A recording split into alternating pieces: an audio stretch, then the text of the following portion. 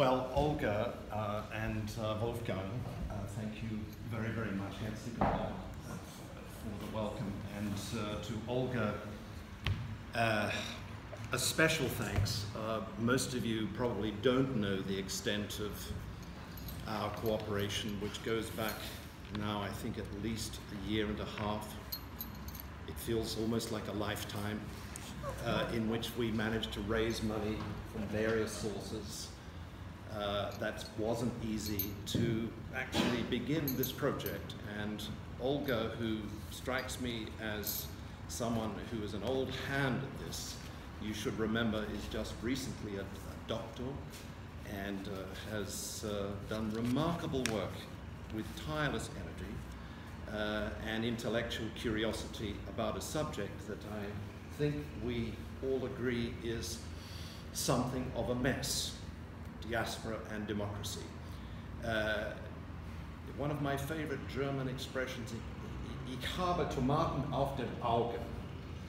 I have tomatoes in front of my eyes. It means uh, I don't understand this topic. And both Wolfgang and I have been working on this for quite a while, decades. Sad lives. We only worry ourselves about democracy. But I think it became clear, um, speaking with Olga and looking at the literature and thinking about Ukraine and its future as a case study, that actually uh, there is very little uh, research in this area. And it's not just a lack of research that is problematic, but it is that the topic itself, I think, raises some very uh, fundamental questions about the literature in diaspora studies, about which I knew almost nothing, um, but from which I, about which I've learned a great deal, for example, from Jumana Bayeh, who is here. And it raises very basic questions about the conceptualization and research on democracy itself. How long would you like me to speak? Um, Briefly. Minutes. 15 minutes. Okay, so I will try to be uh, very um, brief, and I want to say probably three things about this topic to, to begin the conversation uh, about um, diaspora and democracy. We are uh, in a period, opening remark, repeating Wolfgang, where Charles Maier puts it very well uh, in a great book just published. Uh, he's the American, German-American historian, sociologist, uh, a book called Once Within Borders. He writes, we all share the sense that we live in a transformative moment of territoriality.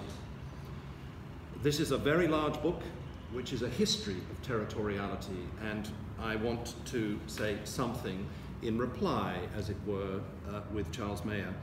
It's also worth uh, pointing out from the outset that we are in a country and in a city where geopolitics was invented. Uh, I didn't know much about Karl Haushofer, uh, aus München, but in the 1920s there was a very big discussion, probably the last great discussion, of territory, space, time, borders, states, um, nation, those topics, and Karl Haushofer, who was the founder of um, a new journal called the Zeitschrift für Geopolitik, and who was caught up with intellectuals and statesmen and diplomats like um, Mackinder, and who were very centrally concerned with what the post-World War I Europe would look like and what the global order was becoming.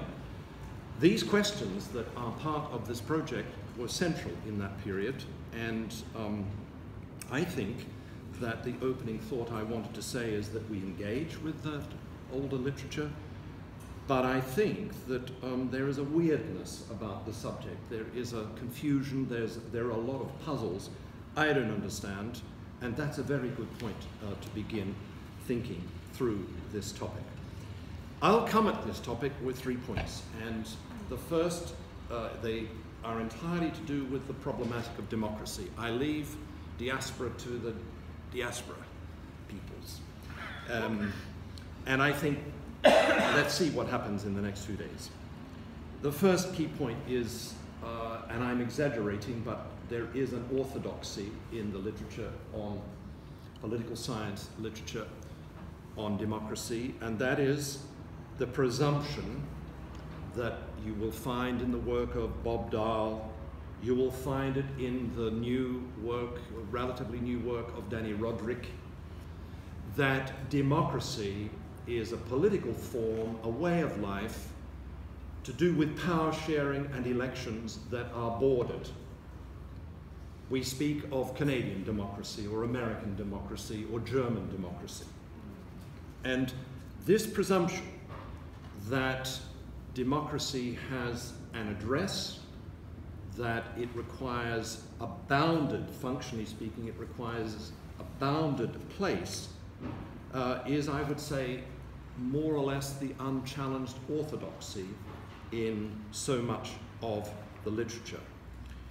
Uh, and you will find in the literature a whole series of reasons why it can't be otherwise. Uh, Bob Dahl was, I think, one who uh, pointed out that we can't think about global democracy because the level of citizen understanding of global affairs is poor. We cannot think of democracy outside of borders because people require protection from enemies, for instance. And uh, there are then arguments that are given for the orthodoxy. Dani Rodrik, whom I've mentioned, who's at Harvard? Yes. Yes. Uh, who has spoken eloquently about what he calls a trilemma. You know, we live in times, he says, where um, there is the ideal of democratic sovereignty. There is the ideal of, there is the process of globalization, of flows, of economic investment, and so on. And there is the question of borders. And you can only have two, but not three of these. And he comes out very clearly uh, in his book and in subsequent writings to say that he is uh, very much in favor of the protection of democracy, and that requires the protection of borders against uh, at least some elements of globalization. So this is, um, this is part of the orthodoxy, which here I come to the second point of three, where it seems to me that there are lots of anomalies, um, trends that challenge this view, uh, that require, it seems to me, uh, some rethinking of the orthodoxy. And I would urge you, and Olga and I have talked about, I think your introduction probably needs to address this in more detail. But if you look at the Charles Maier book, you will find running through it a peculiar tension. He says, effectively, borders were invented. I mean, Europe is the birthplace of bordering, of a territorial mentality. And in this, he repeats Max Weber and others. And yet, on the other hand, and his thesis is that borders remain important. They are not going to go away. And despite all of the talk of globalization, blah, blah, blah, blah, um, the empirical reality is that borders remain critically important for people's lives. He doesn't speak about democracy, but clearly democracy is included in this equation. And on the other hand, Maier points out that um, the whole idea that politics, government, life is bordered, that it requires an address, that it requires a territory, is an imagined relationship. That it has a history. It's not natural. Hunting and gathering peoples, as he points out, did not uh, live uh, through a territorial mentality. And this, for me, raises the question of how um, natural, how um, solid this uh, primacy of territoriality is.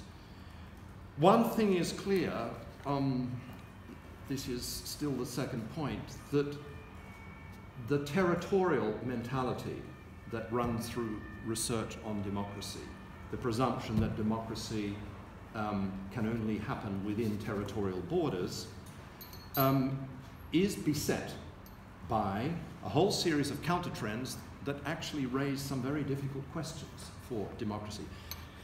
Let me put it simply if democracy is about power sharing, where people, through their representatives, govern themselves as equals, this is a rough working definition, then that ideal, that way of life, uh, is contradicted by a growing, um, a thickening of what um, Saskia Sassen and others call assemblages of power. That is, not only state institutions and their uh, manipulation of the world, but processes like G7, G8, G20, the UN, the growth of corporate assemblies of power, all of those contradict the spirit of democracy and potentially threaten it.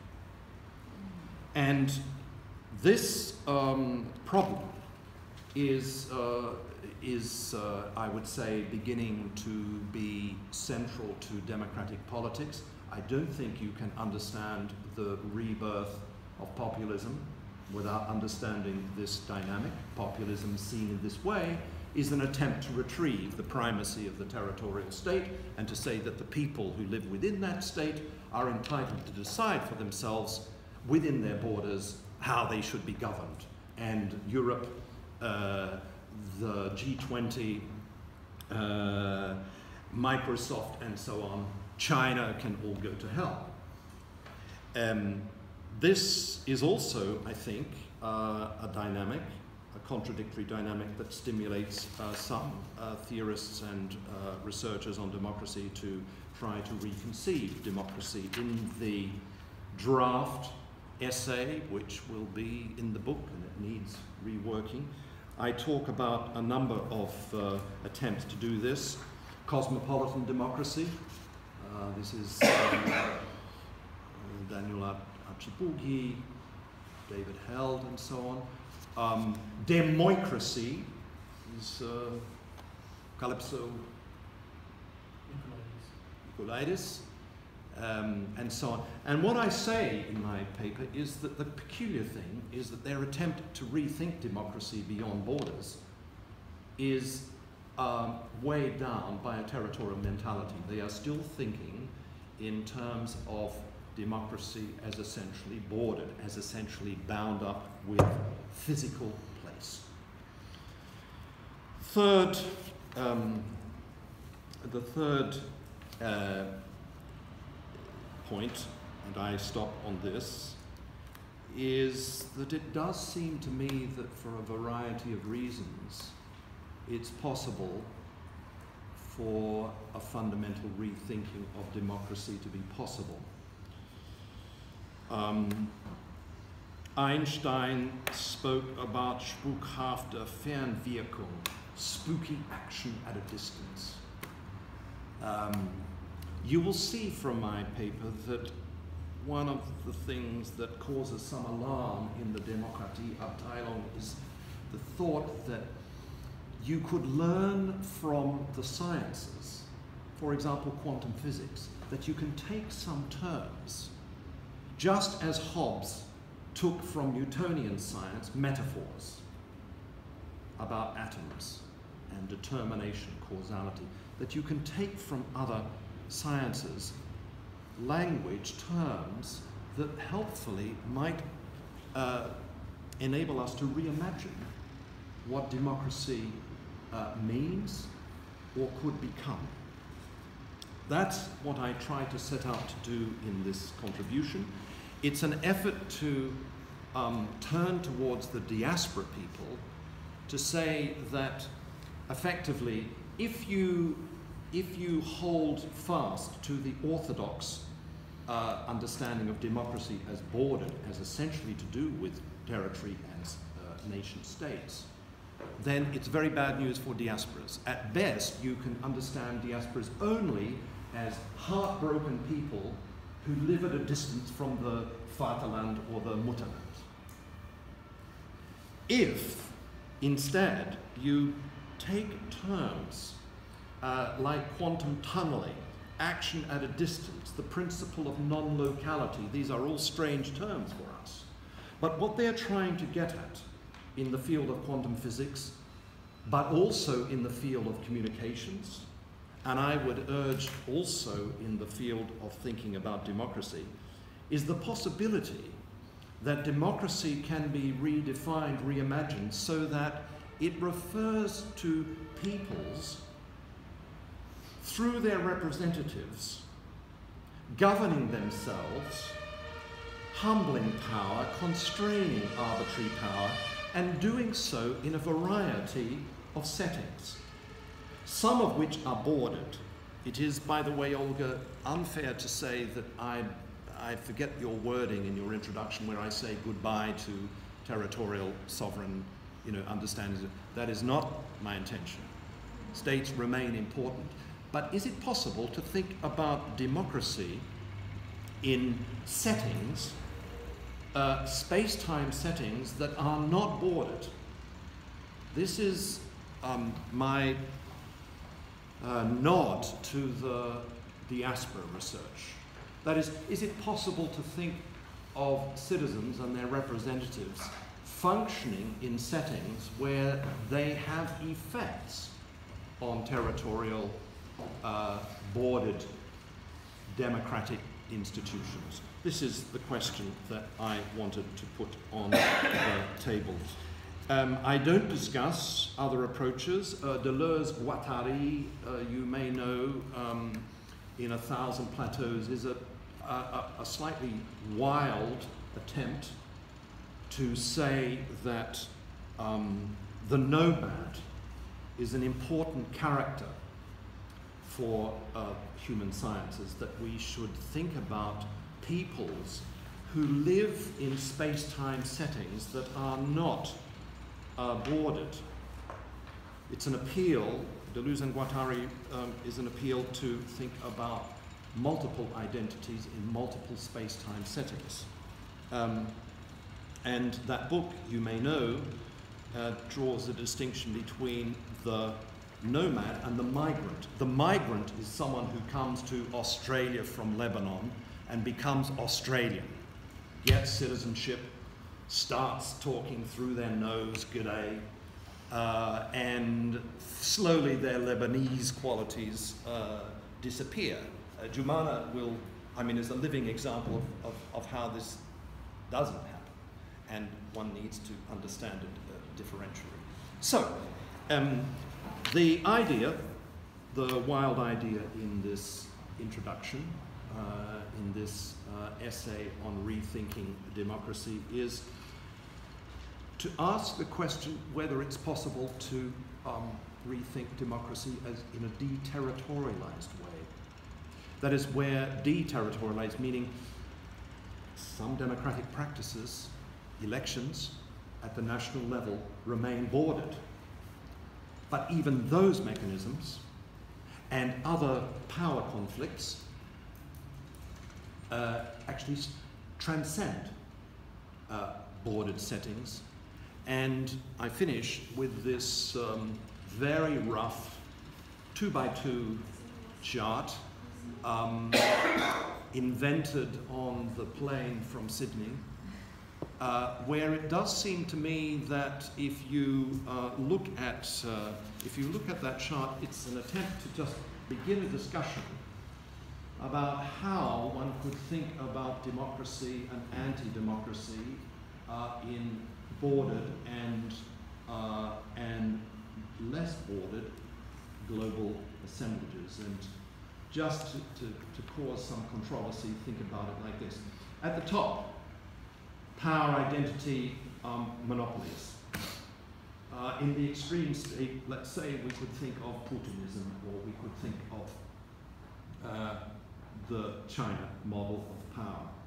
At the bottom, think of democracy as power sharing, uh, I mean institutionalized power sharing, the restraint of arbitrary power, let's say.